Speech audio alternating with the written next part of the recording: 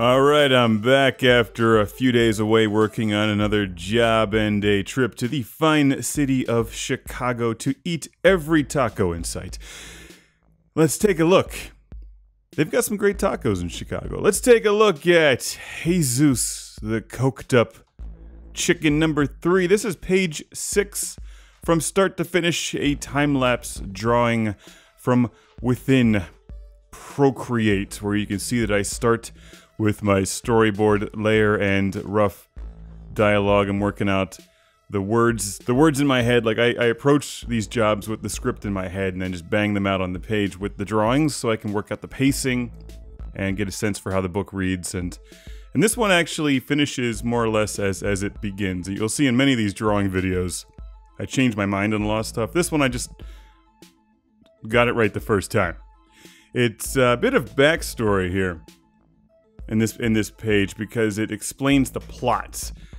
And uh, like I've said, like I've said before, Heyzoos three and Ethel the Cyborg Ninja two are like two parts of the same story within the Lord Karnage saga. The team splits up, and this is some backstory explaining that to the reader. So we have Ethel and Edit Station one on top, speaking to Heyzoos, Wind, Squid, and Space Gar. And Wind, Squid, Heyzoos, and Space Gar form the Heyzoos comic book team. Like they're the main characters on the adventure that goes back to Earth to Truxton, New York, to search for Lord Karnage, who has gone missing in time.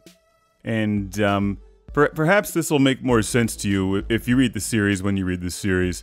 Heyzoos 3 is like the bridge between the earlier books where he was just a uh, whacked out uh, whacked out video game reviewer reviewing games in his head, high on space coke.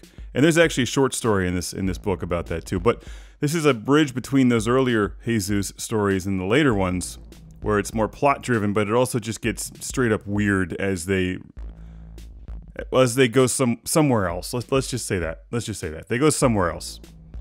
Weird. It gets weird. But weird is a lot of fun to draw.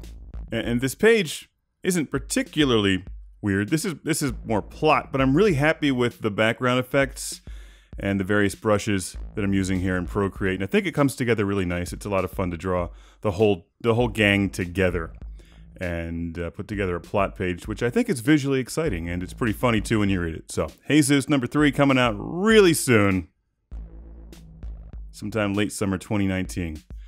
It uh, it gets weird.